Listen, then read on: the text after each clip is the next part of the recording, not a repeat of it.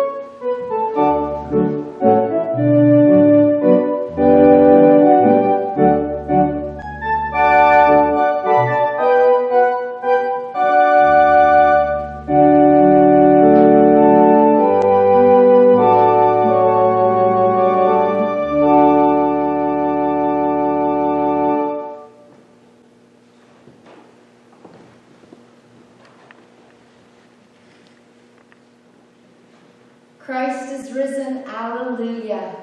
Happy Easter morning to each and every one of you, and to those of you who are joining us online.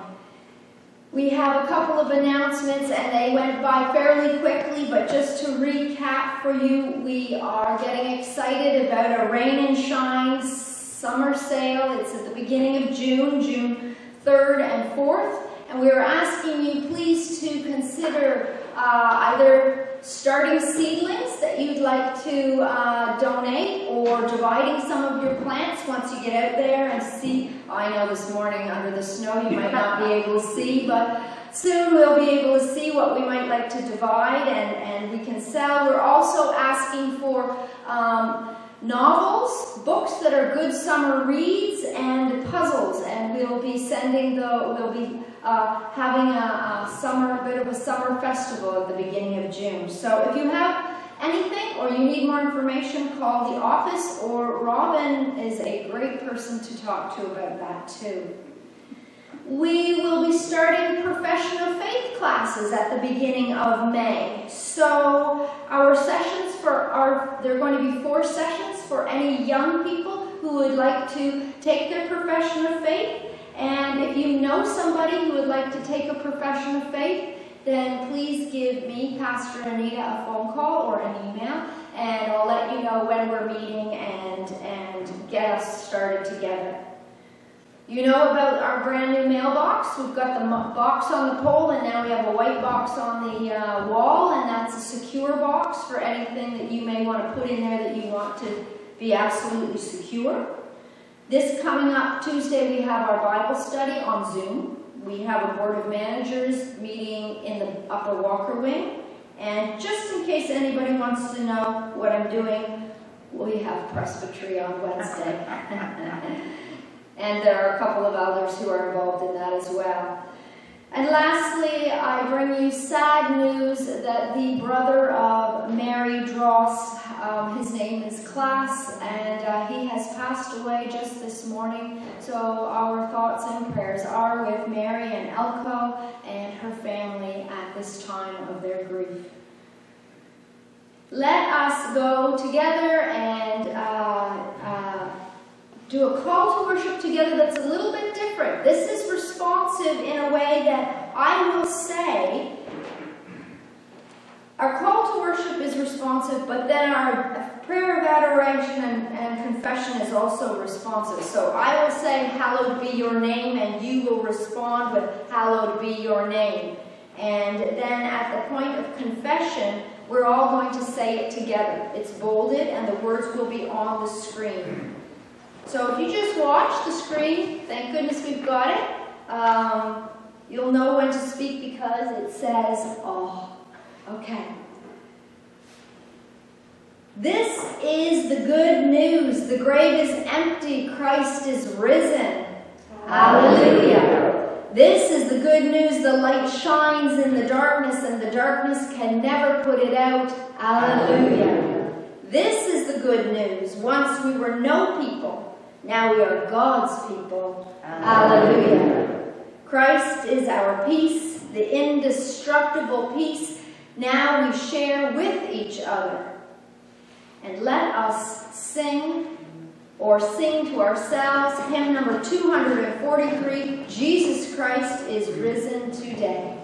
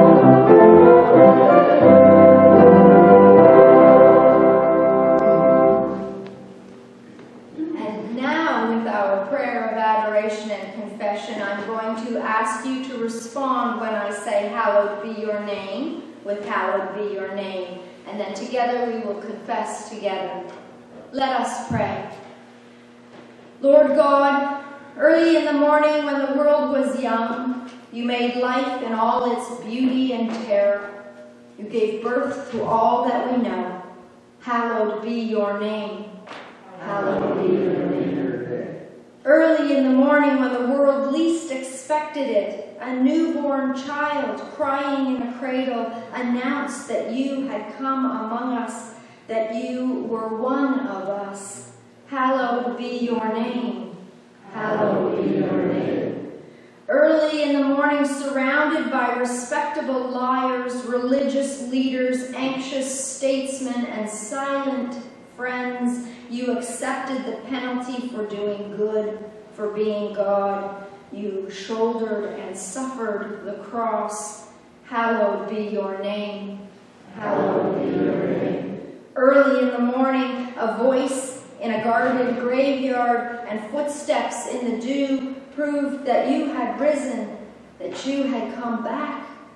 those and for those who had forgotten, denied, and destroyed you. Hallowed be your name. Hallowed be your name. This morning, in the multicolored company of your church on earth and in heaven, we celebrate your creation, your life, your death, and your resurrection, your interest in us. So we pray together, Lord, Bring new life where we are worn and tired. New love where we have turned hard-hearted. Forgiveness where we feel hurt and where we have wounded. And the joy and freedom of your Holy Spirit where we are prisoners of ourselves.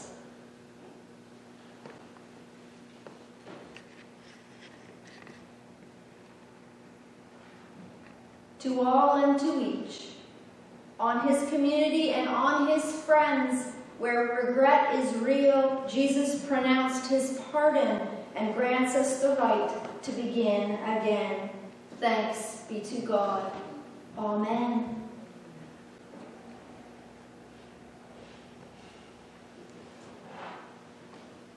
Our first reading this morning comes from Paul's letter to the Corinthians.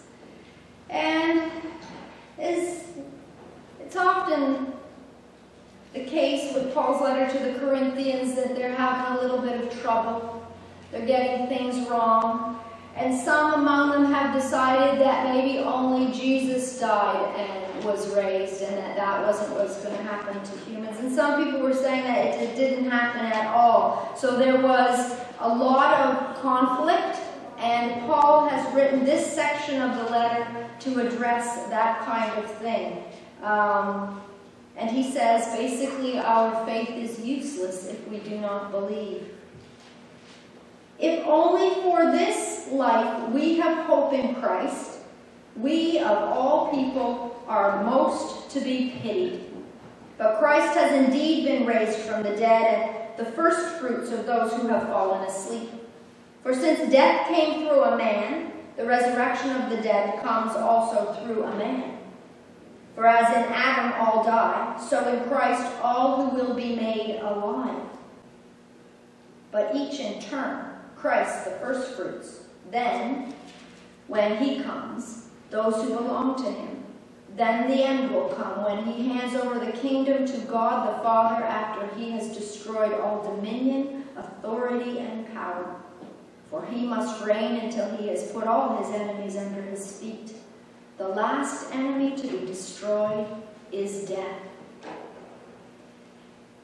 And our next hymn is hymn number 255. Now let the vault of heaven resound.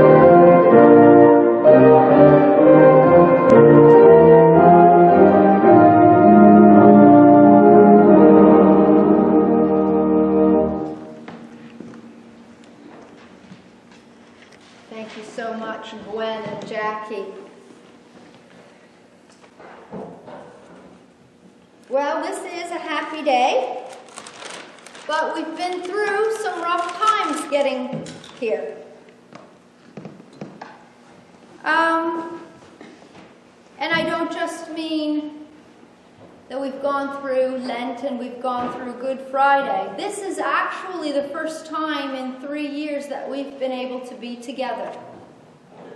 And in that time that we have not been able to gather to worship together, there has been a lot of heartbreak.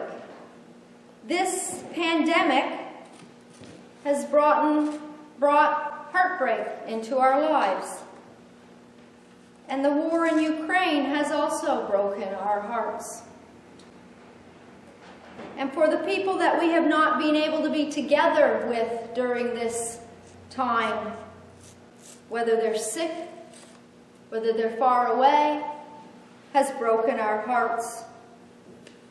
Some of us may feel heartbroken over all the conflict, all the conflict within our own province too, all the people being angry, things on Facebook, things you hear out in the community. Some of us have been heartbroken because people that we love are distanced from us. Maybe there's been a conflict Maybe there's been things said. Our hearts are broken. They have had a rough two years. And maybe you could say that our hearts have been broken into pieces. And so, this day, I think we can give our broken hearts to God because God restores hearts, and that's one of the Easter messages that God can restore hearts and does restore hearts. He takes our broken hearts and He puts them back together again so that we do not have to feel this is the way it ends, but that God is always at work in this world restoring our hearts.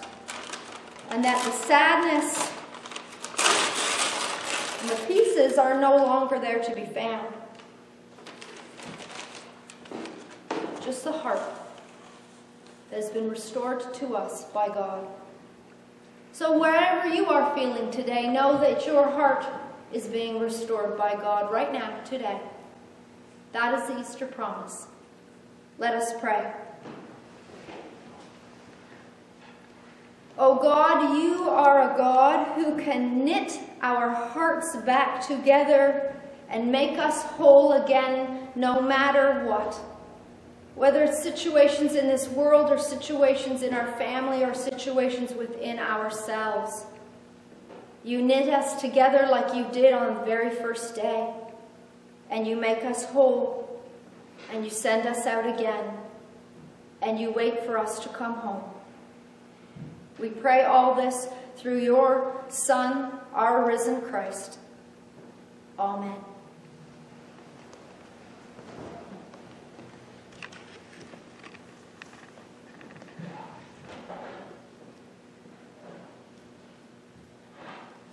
This morning I am going to read from John's Gospel, and I'm going to read starting at the beginning of chapter 20.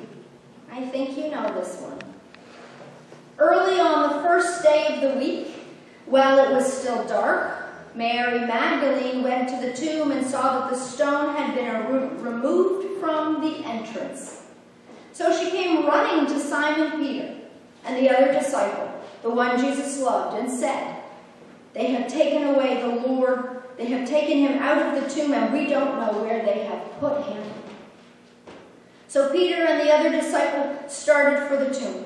Both were running, but the other disciple outran Peter and reached the tomb first.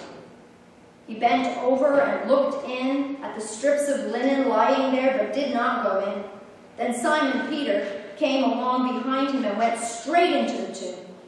He saw the strips of linen lying there, as well as the cloth that had been wrapped around Jesus' head. The cloth was still lying in its place, separated from the linen. Finally, the other disciple who had reached the tomb first also went inside. He saw and believed. They still did not understand from Scripture that Jesus had to rise from the dead. Then the disciples went back to where they were staying. Now, Mary stood outside the tomb crying.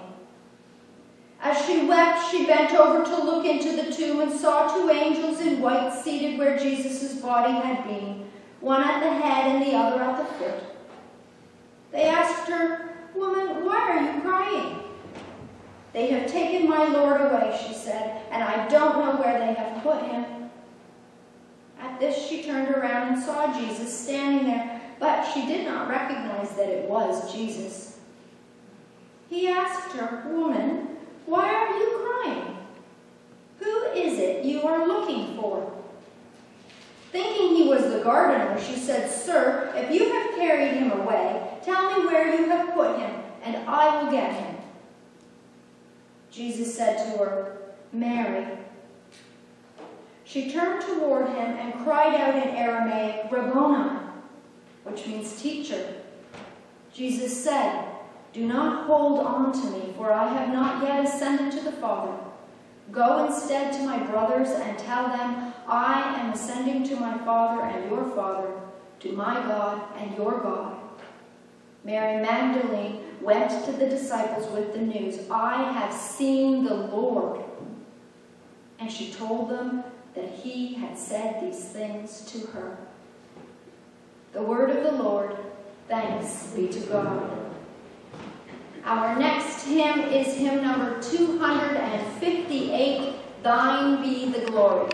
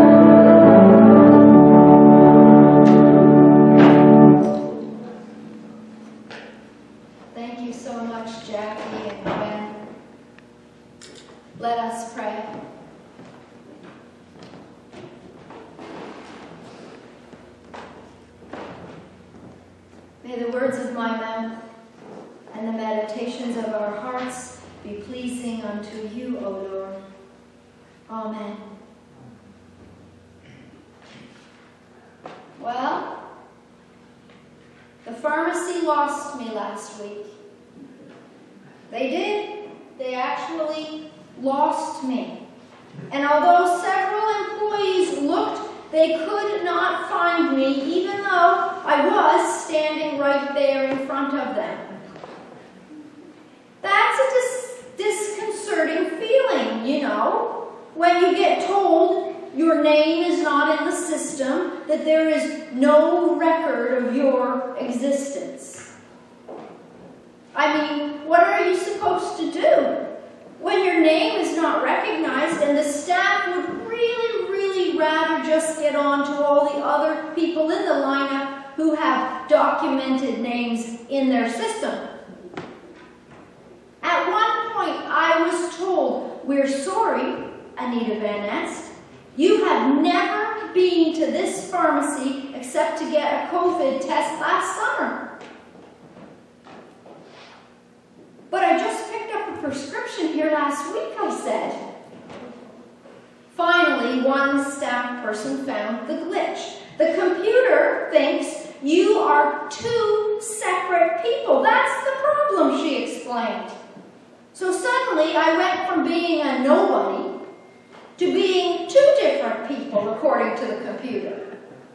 And I guess that can happen when you have a two-name last name, or you switch to a new pharmacy and nobody knows you by sight. So this very helpful pharmacy assistant finally fixed the problem in their system. I now have no space between my two last names. I have become Anita VanEst. I don't know. It doesn't sound like a foolproof plan to me. And I guess I will just have to wait and see if I am actually recognized by my new name the next time I go back to the pharmacy. Early on the first day of the week, when it was still dark, Mary Magdalene went to the tomb and saw that the stone had been removed from the entrance. In John's Gospel, it's just Mary that morning. What she thought she was doing there, no one will ever know for sure. With such a large stone in front of the entrance to the tomb, she couldn't have moved it by herself. But maybe something inside her made her want to be close to Jesus' body, as close as she could be. Like a pup writes Barbara Brown Taylor, rooted to the last place she had seen her master with no idea what to do next. This is what first grief looks like being loyal and being lost, rooted, stuck, and no longer able to be part of the ebb and flow of life. Then comes the awful shock the shock of an open tomb. And with this awful shock, there is a lot of frantic running. Mary running to the disciples, the disciples running to the tomb. One disciple stops at the entrance, the other runs straight into it. Chests heaving, breathing heavily, eyes adjusting to the dimness of the carved out stone cavern. If Mary's first impression is correct, then what more cruelty and disrespect have befallen the body of Jesus? It's hard to breathe with the thought of it. But the grave cloths were still there, not strewn around the tomb or taken with the removal or the stealing of the body. Instead, they were left behind, folded neatly, like the way a good guest strips the linen from the bed they have slept in and leaves them in a neat folded pile for washing. This seems far less like something that has been done to Jesus, rather something Jesus has done, has planned, has orchestrated. Scripture says of the disciple, he saw and believed. And although the very next line says they did not understand, what they believed, I think, was that God was still at work through Jesus. They just didn't know how yet. Therefore, Jesus was not lost to them as they had thought he was. Unbelief is thinking that Jesus is lost to us. Belief is knowing that Jesus is not lost to us and we are not lost to him. The first thing that the risen Christ does is step into that void with Mary. For she still thinks that Jesus has been taken away from her and that the removal of his body, that means he has been taken away and she desperately wants him back if only to know that she can come to the graveyard from time to time and plant flowers and talk to him. Thinking that she's talking to the gardener, and we all know that God is the greatest gardener, the first, the divine gardener. She asks this gardener where Jesus' body can be found. And Jesus says her name. Jesus says to her, Mary. And just like that, she knows. She knows that she has been recognized by her name. She knows that she has been seen. So she cannot be lost. She is not lost in the system. She is not lost in this big, cruel world. She is not lost to Jesus. And Jesus is not lost to her. She in turn responds to him with a name. She calls him Rabboni, which means teacher in Aramaic. But she has called him by his Friday name. She has called him what he had been to her and to the disciples. She has not yet understood that he has two names now Jesus Christ. And those two names make a world of difference. Those two names mean she will never feel lost again. She is not to stay rooted in this place of grief. She is not to hold on to the past because something new and wonderful is happening. And she shouldn't even pause to keep it to herself for one more moment. Names, names are important.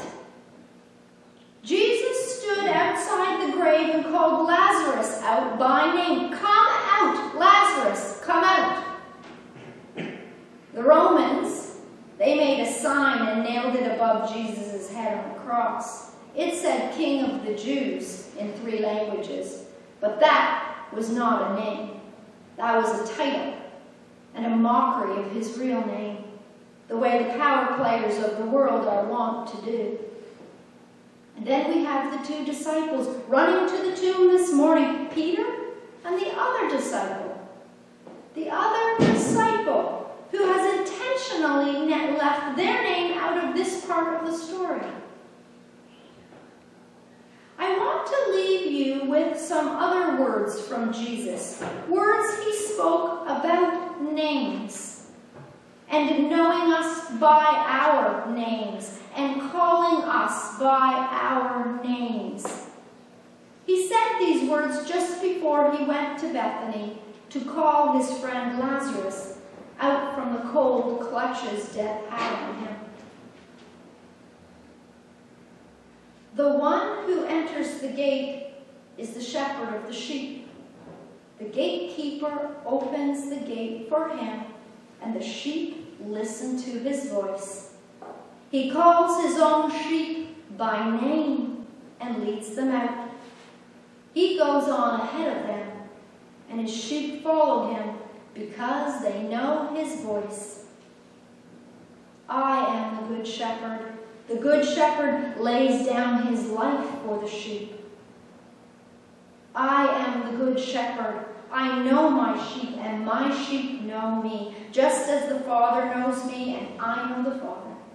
And I lay my life down for my sheep. I have other sheep that are not of this pen. I must bring them also.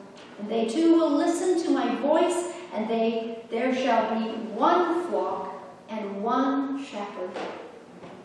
And a short time after that, again, Jesus said, My sheep listen to my voice. I know them, and they follow me. I give them eternal life, and they shall never perish. No one will snatch them out of my hand. My Father, who has given them to me, is greater than all. No one can snatch them out of my Father's hand. I and the Father are one.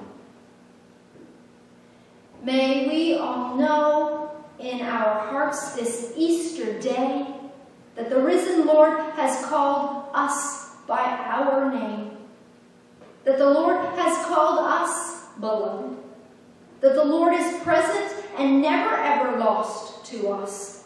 And the risen Lord has called us by name. We cannot be lost because we are already and always found. Amen.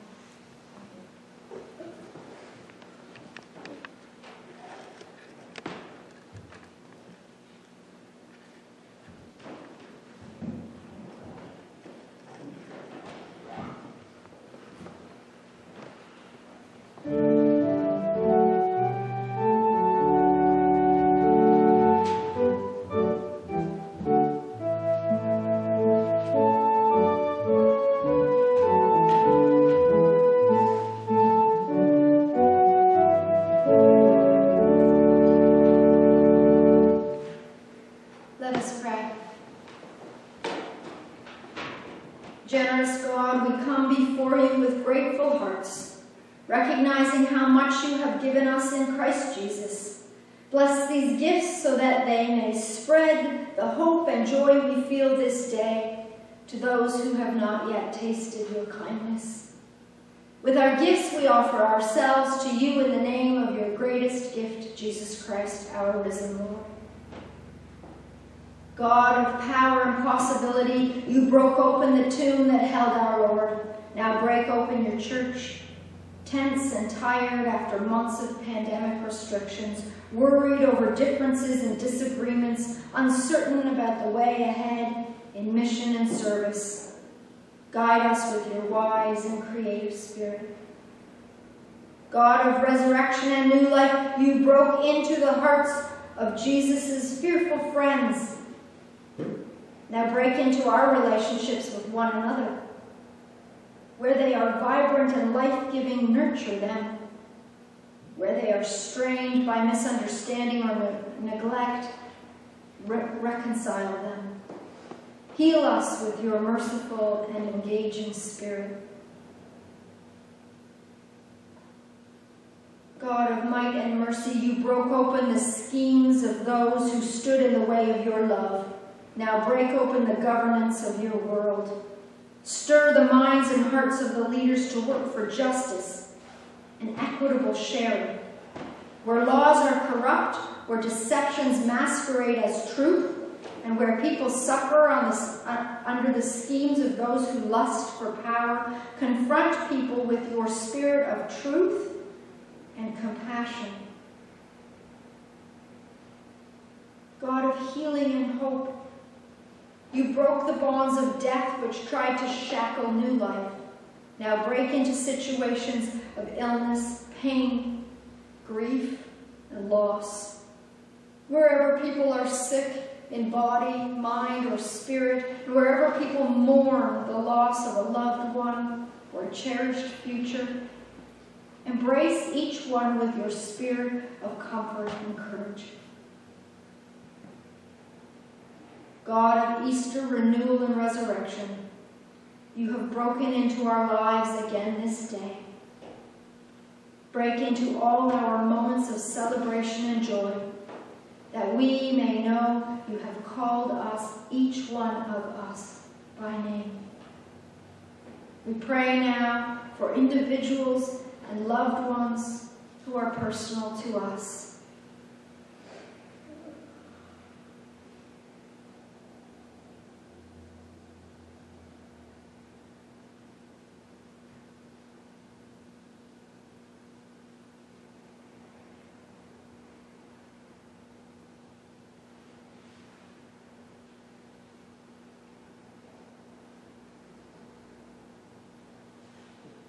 By your Spirit.